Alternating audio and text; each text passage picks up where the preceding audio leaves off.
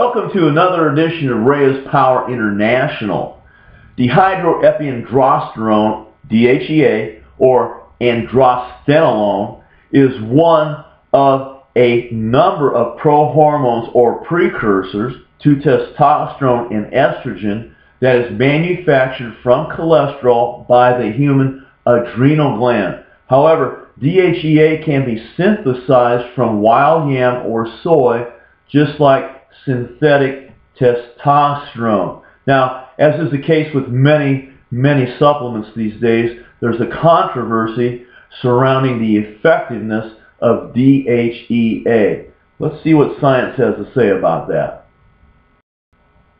Now, typically young lifters tend to believe whatever they read in the magazines or see on the internet regarding the effectiveness of a supplement.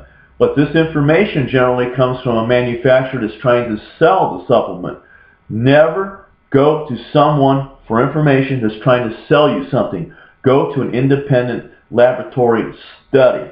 Okay? Now, as an androgen, DHEA is weak, but it can still cause the negative side effects associated with anabolic steroids, such as early pubic hair growth, adult type body odor, oily skin, and acne. Now, as an internal precursor to testosterone and dihydrotestosterone, DHT, DHEA is a weak partial agonist of the androgen receptor. Now, since it competes to bind to the receptor with full agonists like testosterone, it may behave more like an antagonist, interfering with testosterone binding.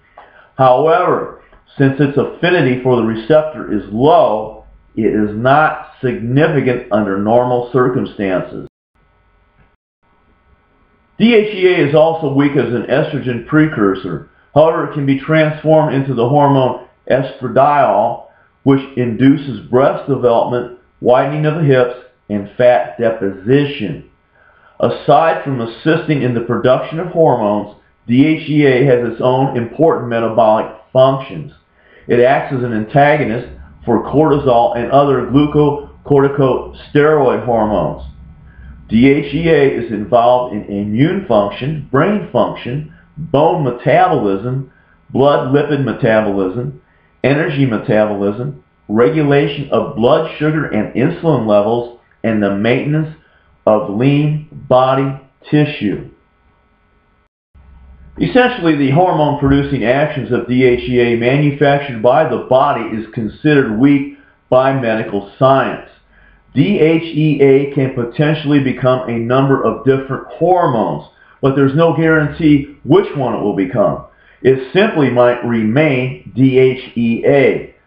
Testing of DHEA supplements has concluded that widespread poor quality control produces an ineffective supplement in most cases.